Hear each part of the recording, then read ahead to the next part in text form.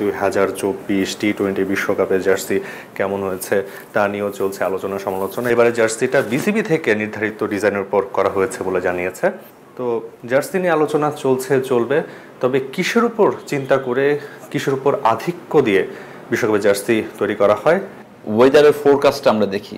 গরম নাকি ঠান্ডা? ঠান্ডা হলে একটু আমরা একটু মোটা কাপড় ইউজ করার চেষ্টা করি গরম হলে একটু পাতলা কাপড় এই যে প্রোডাক্টটা আমি তৈরি করি এটা রাইট কিন্তু কারোই নাই শুধু বিসিবির রাইট সো বিসিবি চাইলে এটাকে বাণিজ্যকরণ করতে পারে।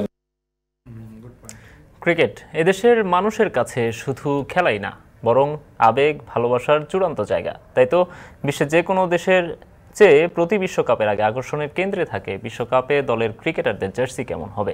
এবারও তাই, তবে এই জার্সিকে ঘিরে যেমন আবেগ থাকে, ঠিক তেমনি থাকে বিস্তর বাণিজ্য। এ নিয়ে এখন মাঠের আজকের আয়োজন। আপনাদের সাথে আছি আমি নোমান আবদুল্লাহ। আর পুরো আয়োজনে আমাদের সঙ্গে থাকবেন সিনিয়র ক্রীড়া সাংবাদিক শামীম চৌধুরী। শামীম, আপনাকে স্বাগত জানাচ্ছি আমাদের স্টুডিওতে। আমরা জার্সিটা দেখেছি বাংলাদেশের একেবারে শেষ পর্যায়ে এসে আমরা দেখেছি যে বিসিবি জার্সিটা আনুষ্ঠানিকভাবে উন্মোচন করেছে। বিসিবিও না, ঠিক আইসিসির একটা প্রোগ্রামের মাধ্যমে আমরা জেনেছি। আমরা সে নিয়ে আলোচনা করব, জার্সিটা কেমন হয়েছে, জার্সি কেন্দ্রে কি কি বাণিজ্য আছে সব কিছু নিয়ে আমরা আলোচনা করব। তার আগে আমাদের একটা প্রতিবেদন আছে, সেটি একটু দেখে আসতে চাই। টি টোয়েন্টি বিশ্বকাপ খেলতে যুক্তরাষ্ট্রে বাংলাদেশ দল। বিশ্বকাপের স্কোয়াড ঘোষণার পর যেই বিষয়টির উপর সবচেয়ে বেশি আলোচনা চলে, তা হলো বাংলাদেশের বিশ্বকাপ জার্সি। উন্মোচিত হয়ে গেছে, কেমন হয়েছে বাংলাদেশের বিশ্বকাপ জার্সি, তা নিয়ে চলছে নানা আলোচনা, সমালোচনা। আমরা যদি আগের বিশ্বকাপ জার্সিগুলো দেখি এবং এবারের বিশ্বকাপের জার্সিগুলো দেখি, পার্থক্যটা খুব ভালোই চোখে পড়বে। আমরা যদি একটু খেয়াল করি দু বিশ্বকাপের জার্সিটা কেমন ছিল? সেই উনিশ বিশ্বকাপ ইংল্যান্ডে হয়েছিল। সেই বিশ্বকাপের জার্সিটা যদি দেখেন তারপর যদি দুই হাজার বাইশের টি টোয়েন্টি ওয়ার্ল্ড কাপ যেটা অস্ট্রেলিয়াতে হয়েছিল, সেখানেও ঠান্ডা ছিল কিছুটা, সেই রকম জার্সি, সেই চিন্তা করে জার্সিটা তৈরি করা হয়েছিল। যদি খেয়াল করেন, সেখানে বাঘের একটি ছবি রয়েছে এবং জামদানির উপর ডিজাইন করা ছিল সেই, এই জার্সিটা। তারপর দুই বিশ্বকাপের জার্সি ভারতে বাংলাদেশ খেলতে গিয়েছিল। সেই বিশ্বকাপের জার্সিটাও এরকমই কাছাকাছি মানে ডিজাইন হয়েছিল। এইবার যেটা লক্ষ্য করা যাচ্ছে, দুই হাজার চব্বিশ টি টোয়েন্টি বিশ্বকাপের জার্সি কেমন হয়েছে তা নিয়েও চলছে আলোচনা সমালোচনা। এবারের জার্সিটা এবারের জার্সিটা বিসিবি থেকে নির্ধারিত ডিজাইনের উপর করা হয়েছে বলে জানিয়েছে। তো জার্সি নিয়ে আলোচনা চলছে, চলবে। তবে কিসের উপর চিন্তা করে, কিসের উপর আধিক্য দিয়ে বিশ্বকাপের জার্সি তৈরি করা হয়? সেই বিষয়টা জানব জার্সি তৈরির কর্ণধারের কাছ থেকে। আমাদের এন্ড থেকে যেটা থাকে সেটা হচ্ছে যে ওয়েদারের ফোরকাস্টটা আমরা দেখি। গরম নাকি ঠান্ডা ঠান্ডা হলে একটু আমরা একটু মোটা কাপড় ইউজ করার চেষ্টা করি, গরম হলে একটু পাতলা কাপড় করার চেষ্টা নিরানব্বই থেকে দুই হাজার তেইশ প্রতিটি বিশ্বকাপে বাংলাদেশ ক্রিকেট দলের জার্সি নিয়ে হয়েছে আলোচনা, সমালোচনা। বিশেষ করে লাল, সবুজ রঙের মিশ্রণ নিয়ে। তবে জার্সির সঙ্গে দেশের পতাকার মিল থাকতে হবে এমন কোনো বাধ্যবাধকতা নেই আইসিসির। বিসিবির লোগো লাল, সবুজের আদলে হওয়ায় টাইগারদের জার্সিও সেই নিয়মেই বানানো হয়। আমাদের অনেকের ধারণা হচ্ছে যে দেশের পতাকা অনুযায়ী কিন্তু জার্সি হয়। আপনি পৃথিবীর কোনো দেশের, জার্সি কিন্তু দেশের পতাকা অনুযায়ী হয় না। দেশের পতাকার কালার এবং আমাদের ক্রিকেট বোর্ডের যে লোগোর কালার সিমিলার অলমোস্ট সবগুলি কালারই আছে। সো আমরা লাল সবুজই করি। বিশ্ব ক্রীড়াঙ্গনে জার্সিকে বাণিজ্যিকভাবে বিক্রি করে ক্রিকেট বোর্ড কিংবা ক্লাব কর্মকর্তারা। বিসিবি এখনও সেই পথে না হাঁটলেও অদূর ভবিষ্যতে এমনটি হওয়ার সম্ভাবনা রয়েছে বলে জানান জার্সি নির্মাতা প্রতিষ্ঠানের এই কর্তা। এই যে প্রোডাক্ট আমি তৈরি করি এটা রাইট কিন্তু কারোই নাই শুধু বিসিবির রাইট সো বিসিবি চাইলে এটাকে বাণিজ্যকরণ করতে পারে। বিসিবি যদি মনে করে এটা বাণিজ্যকরণ করবে না এটা বিসিবির কল বিসিবি কেন যুক্তরাষ্ট্র যাওয়ার আগে দেশে জার্সি উন্মোচন করল না তা নিয়ে চলছে সমালোচনা। তবে যাই হোক দিন শেষে টাইগারদের পারফরমেন্সই পারে সব সমালোচনার জবাব দিতে। তাসোয়া নাফি এখন ঢাকা। সাহেব আমরা প্রতিবেদনটি দেখছিলাম। নানা বিষয়ই উঠে এসেছে তবে সবার আগে আমার আমার যে প্রশ্নটা আমার মনে হয় অনেক সমর্থকের মনে একই প্রশ্ন। আমরা দেখি যে প্রতি বছর বিশ্বকাপে যাওয়ার আগে সবগুলো দেশই ইনক্লুডিং বাংলাদেশ, সবাই কিন্তু তাদের জার্সিটা প্রকাশ করে যায়। বাংলাদেশও আমরা এর আগেও দেখেছি যে দেশের মাটি থেকে তারা যেদিন যাচ্ছে, তার আগেই তারা একটা আনুষ্ঠানিক একটা প্রোগ্রাম করে থাকে, সেখানে জার্সিটাও প্রকাশ করে থাকে তারা। এবারই একেবারে ব্যতিক্রম একটা ব্যাপার দেখলাম আমরা বাংলাদেশের ক্রিকেটাররা শুটেড বুটেড হয়ে তারা হচ্ছে ফটো সেশন করেছেন। কিন্তু জার্সিটা আমরা দেখলাম আইসিসির একটা প্রোগ্রামের মাধ্যমে বিশ্বকাপ শুরুর কয়েকদিন আগে, এই যে জাস্ট দুদিন আগে আমরা দেখলাম। এই বিলম্বটার কারণ কি? আমরা এর আগেও বিভিন্ন সময় দেখেছি যে বাংলাদেশের জার্সি নিয়ে অনেক সমালোচনা হয়। ইভেন সমালোচনার মুখে জার্সিটা পরিবর্তনও করা হয়েছিল। এই সব সমালোচনা বাদ দেওয়ার জন্যই কি বিসিবি এবার এত লেট করল বা কারণটা কি? আমার কেন যেন মনে হয় জার্সি নিয়ে একটা কনফিউশন ছিল যে জার্সিটার রং কেমন হবে, জার্সির ডিজাইনটা কেমন হবে। হতো, হতে পারে এটা। এছাড়া তো আমি কোনো কারণ দেখি না। কারণ আপনি দেখেন দুই হাজার উনিশ ওয়ার্ল্ড কাপে কিন্তু আমরা যে জার্সির যে আনভেলিং হয়েছে সেই জার্সিটা দুইবার বদল বদল কিন্তু একবার করতে হয়েছে।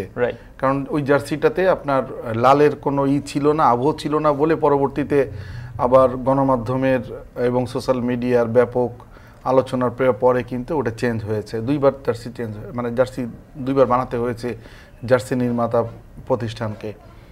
আপনি খেয়াল করে দেখবেন যে আগে যেটা ছিল তখন কিন্তু আপনি জার্সির জন্য কিন্তু একটা আর নির্ধারিত ডিজাইনদের, ডিজাইনারদের কাছে মানে আহ্বান জানাতে হতো, উন্মুক্ত আহ্বানে অংশ নিত যারা, তারা কিন্তু আবার জার্সির ক্যাটওয়াকও হতো। এটা প্রথমেই প্রাইমারি সিলেকশনের পরে ক্যাটওয়াক হতো। সেইখান থেকে জার্সি বেছে নেওয়া হতো। এখানে একটা জুরি বোর্ড থাকতো চূড়ান্তভাবে। এবং এটা নিয়ে কিন্তু নিউজ হতো। আপনি, অর্থাৎ আপনি কিন্তু জার্সিটা যে করছেন ওয়ার্ল্ড কাপে যাবেন মানে ক্রিকেটের সবচেয়ে বড় মঞ্চে আপনি খেলতে যাবেন আপনি জার্সি নিয়ে আলোচনাটা কিন্তু অনেক আগের থেকেই হচ্ছে। মানে জার্সি প্রকাশ করাটাই একটা উৎসবের ব্যাপার এবার একটা ব্যতিক্রম ছিল কি কারণে যে গত দুই ওয়ার্ল্ড কাপে কিন্তু সাকিব কিন্তু জার্সি আনভেলিং অনুষ্ঠানে ছিলেন না। এবার কিন্তু সাকিব ছিলেন এবং পুরো টিমটাই আপনার ছিল। যখন তারা শুটেড বুটেড হয়ে আপনি বললেন শুটেড বুটেড হয়ে আসছে আমরা ধরে নিয়েছিলাম আজকেই বুঝি জার্সিটা আনভেলিং হবে। হলে কিন্তু ভালো হতো কারণ আপনি কিন্তু এমনও দেখা গেছে যে ওয়ার্ল্ড কাপে আমরা যখন আগে গেছি ইভেন আপনি ইংল্যান্ডে যেটা বলেন আমরা কিন্তু এক মাস আগে ওয়ার্ল্ড কাপে গেছি। জি। তাই না? তার আগের যদি ওয়ার্ল্ড কাপ বলেন যে যেটা আমরা অস্ট্রেলিয়াতে খেললাম দুই হাজার পনেরো সেখানে কিন্তু অনেক আগে গিয়েছিলাম আমরা ওয়ার্ল্ড কাপে কারণ বিসবেনে আমাদের একটা ক্যাম্প ছিল বেস ক্যাম্প সেখানে বেস ক্যাম্প করছি তারপরে সাইড ম্যাচ প্র্যাকটিস ম্যাচ অনেক কিছু ছিল। তো এইবার কিন্তু আমরা সেটা দেখি নেই যে আপনার আমার মনে হয় যে এটা সম্ভব হতো যদি এই জায়গাটা ক্রিকেট বোর্ড আরেকটু আগে নিজেরা ভেবে তারপরে জার্সি নিয়ে চিন্তা ভাবনা করতো। তাহলে সম্ভব ছিল এটা? পুরো পুরো ক্রিকেট টিমটার মধ্যেই আমরা একটা হজবরল চিত্র দেখতে পাচ্ছি গত কয়েক মাস ধরে বা এই দুই এক বছরের মধ্যে। তারই একটা চিত্র কিনা এই জার্সি প্রকাশ মানে জার্সি আপনি যেটি বলছিলেন যে আমাদের যে জার্সির যে পটভূমিটা একটা উৎসব মুখর একটা ব্যাপার ছিল ক্যাটওয়াক হতো অনেক কিছু ছিল। কিন্তু আহ, সেসব কিছু হয়নি। দলের যে সামগ্রিক একটা চিত্র আছে আমার মনে হয় জার্সি প্রকাশের না করাটা বা জার্সি প্রকাশকে এভাবে অবহেলা করার ব্যাপারটা এটাও আমার কাছে মনে হয় যে পুরো ক্রিকেটেরই সামগ্রিক একটা চিত্র। আমরা আপনার কাছে আবারও ফিরবো ছোট একটা বিরতির পর। এখন মাঠে নিচ্ছে একটা বিরতি, ফিরছে একটু পর।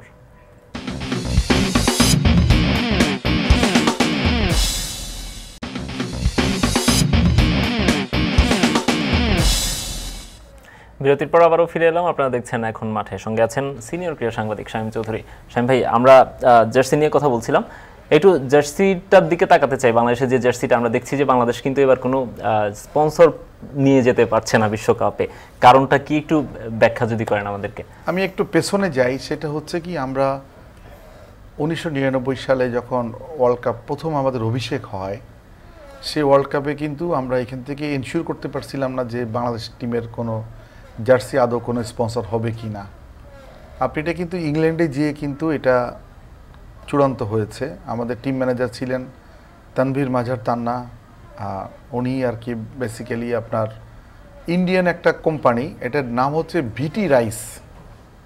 ওরা আসলে চাল রপ্তানি করতো খুব নাম করা মানে ভালো চালগুলো রপ্তানি করতো। ওই ভিটি রাইস ছিল আমাদের তখনকার স্পন্সর টিম স্পন্সর জার্সির স্পন্সর যেটা। ওটা ওরা ওই সময় তারা সতেরো হাজার পাউন্ড দিয়েছিল বাংলাদেশ ক্রিকেট টিমকে। দেখেন এরপরে কিন্তু জার্সির ইভলিউশন হয়েছে। দুই হাজার তিনে যে মবিল কোম্পানি আমাদেরকে জার্সি স্পন্সর করল সেটা ছিল হচ্ছে প্রেস কনফারেন্স করেছি আমি সেটা ত্রিশ লক্ষ টাকা। দুই হাজার সাতে এগুলো শুধুমাত্র বিশ্বকাপের সময়? অনলি বিশ্বকাপের জন্য। কারণ হচ্ছে কি আপনি তখন কিন্তু আপনি দুই হাজার তিনে যখন বলছি তখন কিন্তু আমাদের টিম স্পন্সর কিন্তু আলাদা।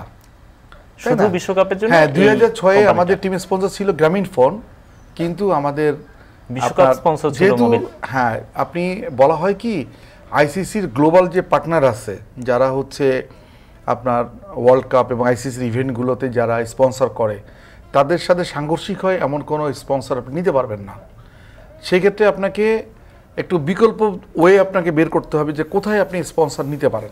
জি। যেমন টিম স্পন্সরের ক্ষেত্রে। এখানে আপনার সুবিধা আছে জার্সিতে কিন্তু আপনি বড় করে লেখা থাকবে হচ্ছে আপনার দেশের নাম। কিন্তু আপনার দুই হাতের যে ব্যান্ড এই জায়গাটা আছে আর্মব্যান্ড যেখানে পড়ে ওই জায়গাটা কিন্তু আপনি স্পন্সর লোগো লাগান লোগো লোগো নিতে পারেন। সেটা কি হচ্ছে? সেটা কিন্তু আমরা দুই হাজার সাতে যে পেলাম হচ্ছে ইস্পাহানি মির্জাপুর চা আসলো। জি। কারণ ওই আপনি তখন মির্জা সালপান ইস্পাহানি ক্রিকেট বোর্ডেই লোক ছিলেন পঁচিশ হাজার ডলার উনি তখন দিলেন। এটা কিন্তু কমলো অর্থটা কারণ কি দুই হাজার তিন ওয়ার্ল্ড কাপে আমাদের প্রত্যাশিত পারফর্ম করিনি বলে দুই হাজার সাতে এটা অনেক কমে গেছে। মানে বাংলাদেশি তখন মুদ্রা যে ছিল মুদ্রা হিসাবে সাড়ে সতেরো লাখ টাকা আসে। এখন পরবর্তীতে কি এগারোতে পনেরোতে কি বেড়েছিল হ্যাঁ হ্যাঁ আমি বলছি আপনি দেখেন দুই হাজার সাত ওয়ার্ল্ড কাপে কিন্তু আমরা আমাদের প্রত্যাশার চেয়ে অনেক ভালো খেললাম। জি। তাই না? এটা কিন্তু যার রিফ্লেকশনটা পড়ছে দুই হাজার তিন এগারোতে। হ্যাঁ দুই হাজার এগারো ওয়ার্ল্ড কাপে দুই হাজার এগারো ওয়ার্ল্ড কাপে আপনার বেসকিমকো এটার ই হলো। আপনি তখন কিন্তু দুই হাজার এগারো ওয়ার্ল্ড কাপে কিন্তু আমাদের এমনি কিন্তু আমাদের স্পন্সর কিন্তু অন্য স্পন্সর ছিল। কিন্তু জার্সির জন্য আমরা জার্সির জন্য আমরা বেসকিমকে পেলাম। পনেরোতে উনিশে? হ্যাঁ না দুই হাজার এগারোতে সেটা হচ্ছে সাড়ে তিন কোটি টাকা পেলাম ওই সময়। জি। তাই না? আপনি এরপরে এবং আরও অফার ছিল এটা হচ্ছে আপনি যদি গ্রুপ রাউন্ড পার হন তাহলে প্রতি ম্যাচের জন্য আপনি আটান্ন লক্ষ টাকা পাবেন। আপনি যদি পরবর্তী স্টেপে যান প্রতি স্টেপের জন্য আটান্ন লক্ষ টাকা পাবেন। এটা প্রেস কনফারেন্স হয়েছে প্রেস কনফারেন্সেই ডিটেলস ডিসক্রিপশন দেওয়া হয়েছিল আমার এখনও খেয়াল আছে। দুই হাজার পনেরো ওয়ার্ল্ড কাপে আমরা কিন্তু পেয়েছি সাহারা ইন্ডিয়াকে। জি। দুই হাজার পনেরো ওয়ার্ল্ড কাপে সাহারা ইন্ডিয়াকে পেয়েছি এবং দুই হাজার পনেরো ওয়ার্ল্ড কাপের স্পন্সরটা ছিল অ্যারাউন্ড এগারো কোটি টাকা। তাই না অ্যারাউন্ড এগারো কোটি টাকা। ওই আপনি দুই হাজার পনেরো ওয়ার্ল্ড কাপে আমরা ভালো করাতে কিন্তু সাহারা ইন্ডিয়ার সাথে আমাদের একটা দীর্ঘমেয়াদী একটা চুক্তি হলো। হয়েছিল। চুক্তি হয়েছিল।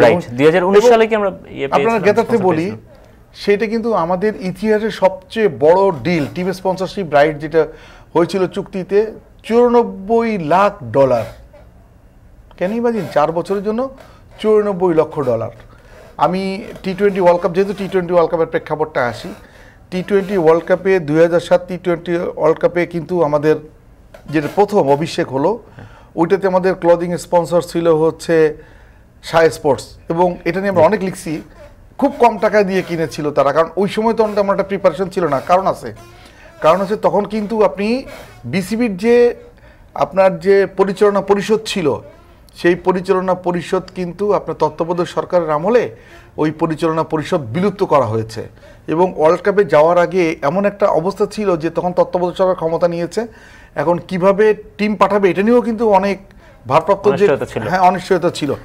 সেখানে আমরা মাত্র তিন লক্ষ টাকা বিক্রি করেছিলাম ওই সাই স্পোর্টসের কাছে জার্সি স্পন্সরটা।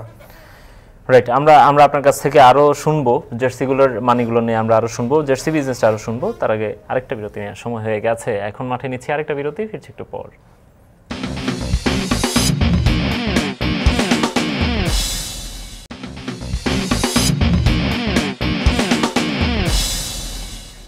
বিরতির পর ফিরে এলাম, আপনারা দেখছেন এখন মাঠে। স্বামী ভাই, আমরা যে সব নিয়ে আলোচনা করছিলাম, যে আমরা দেখছি যে প্রতি বিশ্বকাপেই বাংলাদেশ দল তাদের জার্সি স্পন্সর পেয়েছে এবং মোটা অঙ্কের অর্থ পেয়েছে।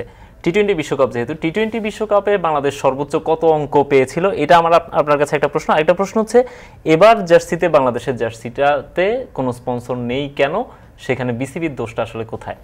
দেখেন, আপনি যে প্রশ্ন করেছেন, আমরা, আমার জানা মতে দুই হাজার ষোলো টি টোয়েন্টি ওয়ার্ল্ড কাপ যেটা ইন্ডিয়াতে হয়েছিল ওটাতে কিন্তু ফ্রেশ যেটা মিনারেল ওয়াটার আছে ওরা আট কোটি পঁচিশ লক্ষ টাকা দিয়েছিল। ওই ওই সময় কথা ওই প্রেক্ষাপটে যে আপনি যদি এখন কনভার্ট করেন এটা বারো তেরো কোটি টাকা হয়ে যাবে। শুধুমাত্র টি টোয়েন্টি ওয়ার্ল্ড কাপের জন্য। আচ্ছা আমরা কিন্তু আপনি যেটা বললেন এবার কিন্তু যেহেতু আইসিসির ওই গ্লোবাল পার্টনারের বাইরে আপনাকে যেতে হবে ওই সাংঘর্ষিক না। এটাকে কিন্তু এটা কিন্তু ফলো করে কিন্তু সবাই কিন্তু মোটামুটি টিম স্পন্সরশিপ নিয়ে নিছে। যেমন আমার জানা মতে ওয়েস্ট ইন্ডিজ আফগানিস্তান এবং আপনার শ্রীলঙ্কা। ওয়েস্ট আপনার ওয়েস্ট ইন্ডিজ শ্রীলঙ্কা এবং ইউএসএ আমি ভুল বলছিলাম আগে। ওয়েস্ট ইন্ডিজ শ্রীলঙ্কা এবং ইউএসএ তিনটা টিম কিন্তু একটা স্পন্সর কারা?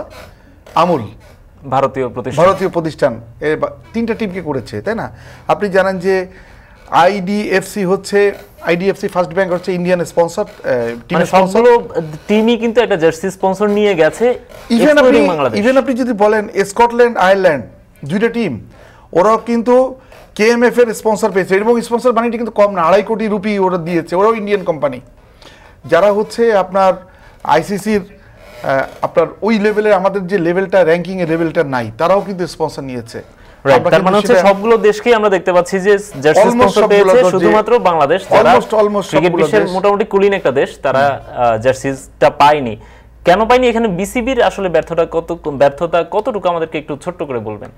এটা হচ্ছে কি আসলে আপনার অনেক আগে থেকে এটার জন্য মার্কেটিং এর যে পলিসি সেটা আপনার বিসিবির কমার্শিয়াল কমিটি এবং রিলেটেড যারা ছিল তাদেরকে এই জায়গাটা মুভ করা উচিত ছিল যে আমরা কাকে স্পন্সর নিতে পারি। যেহেতু আমি রবিক ইউজ করতে পারব না কারণ আপনার তাদের যেভাবে ভাবা উচিত ছিল তারা সেভাবে আর রবির সাথে। আমার ওই কন্ট্যাক্ট ছিল না। রবির সাথে যে আমাদের কন্ট্যাক্ট বাইলেটারাল সিরিজগুলো শুধুমাত্র কন্ট্যাক্ট হয়েছে। তাদের যে আমাদেরকে পঞ্চাশ কোটি টাকা দিবে ওইভাবেই কিন্তু তারা আমাদের সাথে চুক্তিটা করেছে। তার মানে হচ্ছে মার্কেটিং টিম তারা সেভাবে মুভ করেনি। বিশ্বকাপের জন্য জার্সি নিয়ে তাদের সেভাবে তারা আগ্রহ দেখাতে পারেনি এবং তারা নিয়ে আসতে পারেনি। এটা বিসিবিরই ব্যর্থতা মোটামুটি বলা চলে। আপনাকে অসংখ্য ধন্যবাদ আমাদেরকে সময় দেওয়ার জন্য স্টুডিওতে এসে। ধন্যবাদ। শেষ করছি এখন মাঠের আজকের আয়োজন। Thank you.